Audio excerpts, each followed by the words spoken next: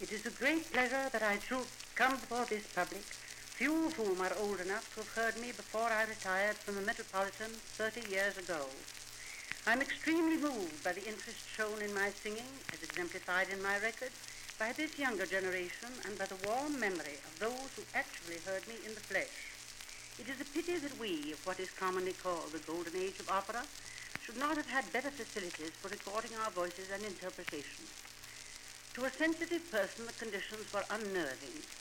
We had to sing carefully into the very center of a horn to the accompaniment of an orchestra which invariably sounded out of tune owing to the fact that metal horns were substituted for the wooden sounding boxes of the violin.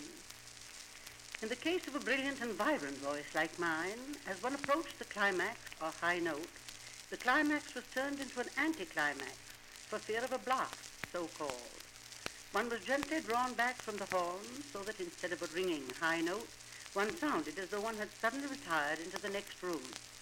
The process enervated me as I felt that with even the most satisfactory results, my voice would be diminished and deformed and the softer vibrations eliminated completely. It is only here and there in my records that one can form an idea of the real quality of sound that came from me. However, since time cannot be put back 30 years to allow me to sing for you in person, I have chosen six records which are, with all their mechanical faults, among the best I made. My Gounod numbers are documents as well as interpretations, for with him I studied, at the beginning of my career, Faust, Mireille, and Romeo and Juliet. As the heroine of the last opera, I made my operatic debut 50 years ago, and I call special attention to this record of the waltz, which is sung as Gounod taught it to me, absolutely in time and without the meaningless holes and retards that one so often hears.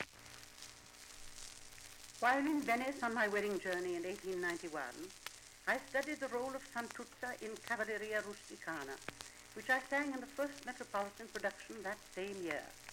In 1893, however, I relinquished it to Emma Calvé in order that the great French soprano might make her American debut in one of her most effective portrayals. I have chosen Santuzza's aria as one of my best records and as one strongly contrasting with the florid display of our first number. In the aria to be heard now, Santuzza gives vent to the despair of a woman whose lover has abandoned her for another. During the season of 1905 and 6, I went on the first of my nationwide concert tours. The famous cellist Hollman was one of my assisting artists, and our performance of his lovely song, Chanson d'amour, was always a popular feature. We play now a record of that song, which I made in 1905, with Hollman himself playing the cello obbligato.